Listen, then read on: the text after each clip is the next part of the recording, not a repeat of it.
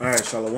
I'm going to start off by giving our praises, honor, and glory to Yahawah Bahasham Yahawashi, Bashim Kadash.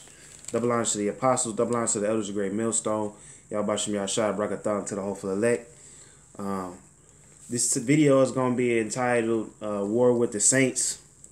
You know, I'm just basically going to go through this uh, Daniel 7. Not even just go through it. I'm just going to read these couple of scriptures and speak on it, you know, in light of the recent events that happened in Jersey City and other bullshit things that have happened, you know, when it comes to brothers and, you know, when it comes not when it comes to the struggle between Jacob and Esau in general, man because as the apostles say, that's that's what the movie is all about, man. That's that's when you get down to the nitty gritty is is good versus evil. It's Jacob versus Esau, you know. And we all know Esau's quality, man. He's he's a bitch ass nigga, you know. So bitch ass niggas gonna do bitch nigga shit. And here here we are, man. You got the false flag in Jersey City. You got uh you know Esau coming against brothers in their personal lives, man. You know all all, all kind of all kind of war tactics, you know, this bitch ass nigga is taking and trying to really preserve his kingdom. Because that's that's really all all it's about, man. He's just trying to, you know, hold on to what he can while he has the time to.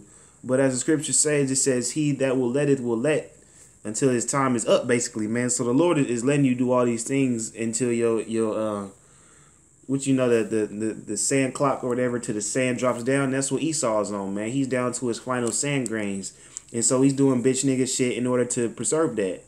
You know. With that being said, let's go ahead and read Daniel chapter seven verse twenty. It says, "And of the ten horns that were in his head, and of the other which came up, and before whom three fell, even of that horn had eyes." And a mouth that spoke very great things, who look was more stout than his fellows, man. And the ones that are look looks that are more stout than his fellows are these Americans, man. You know, because they think they they the top uh, tribe, as you could say, of Esau, man. They think that they they the ones that got it. They think that they shit don't stink, man, and they can do whatever they want. But that's only because Yahweh Bashim Yahshua allowed you to, not because you have the power to, not because you're the greatest nation on earth, because you're really not. You know, the greatest nation on earth is the Israelites, and that's being shown um, you know, who who's the top dog more and more each day. And these bitch ass niggas are jealous. These bitch ass niggas are jealous that their kingdom ain't gonna be as popping as ours. And they're also upset of, you know, the things that we're speaking. You know, because we tell we tell the Edomite that his his uh his woman is leaving him.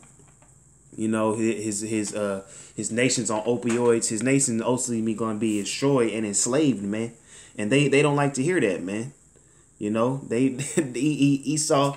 You know, imagine being the proudest nigga you are and somebody telling you ain't shit, man. You gonna be upset, and that's just, that's the current state of Esau right now. Um, but let's go to Daniel seven verse twenty one. It says, "I beheld, and the same horn made war with the saints and prevailed against them." So yeah, these these American Edomites, they they they made war with us. They put us in slavery. You know, they they broke down our family structure. You know, they they poisoned our community. They basically took took the hope. They took the names of Yahweh Shem Yahshai. That's that's first and foremost. They took the names. They gave us, you know, the our, our book, which is the Bible. They gave us a, a misinterpretation of it into thinking that, you know, they are, you know, the ones they call Jesus. They are the ones that are going to be the savior. They're the ones who are going to end out end up on top, which is completely false, man. And even to this day, we are still at war with the Edomites, man. But the thing is, is is oh let's let's continue. Daniel 7 verse 21. Until so yeah, they're they're gonna prevail against us until the ancient of days came. And judgment was given to the saints of the most high, and the time that the saints pos- and and the time came that the saints possessed the kingdom. So y'all y'all y'all are gonna have the upper hand in the war. Y'all gonna think that you know if, if this was a boxing match that y'all beating up beating our ass in the 11th round and you about to get a judge a judge's decision and win it. But no, man. Through the spirit and power of Yahawah Bahasham Yahawashi, the Israelites are making a 12th round comeback, man. The, the the Israelites caught our second win, you know, by by by by being given this truth, by being given the name of Yahawah Bahasham Yahawashi, by having faith. You know, That's that's that's us catching our second win. Is is reclaiming what is ours. You know the kingdom. You know the belt, man. We we we we got the eye of the tiger playing in our mind, man. We just getting more and more hype, man.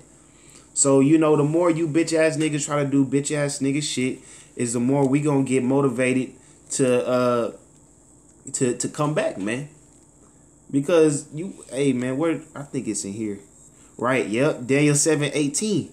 It says, "But the saints of the Most High shall take the kingdom and possess the kingdom forever, man."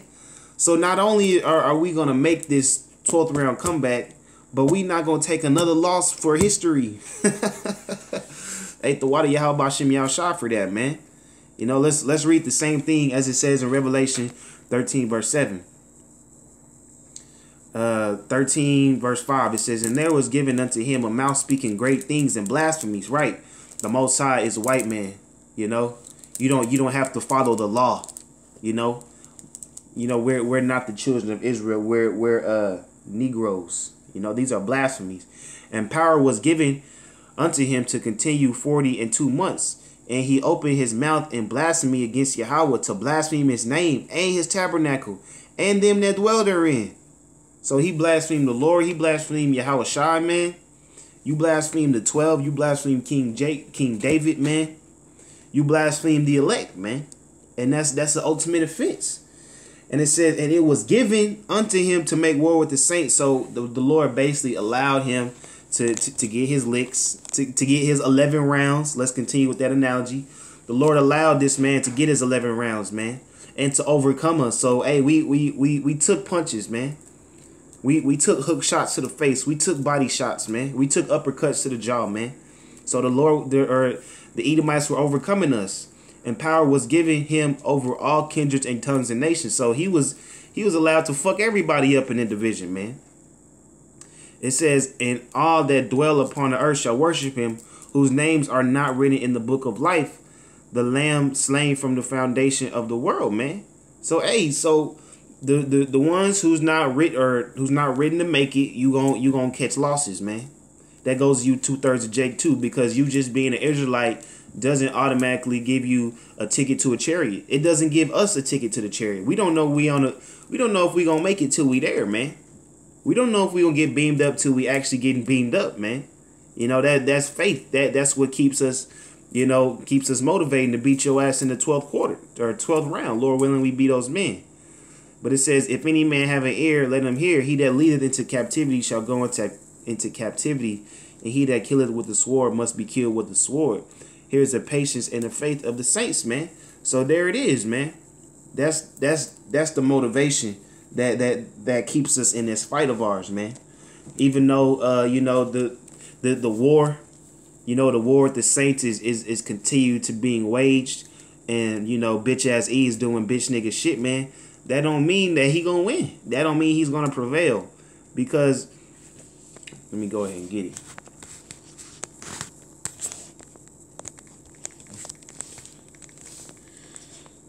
I think it's N O U G H T.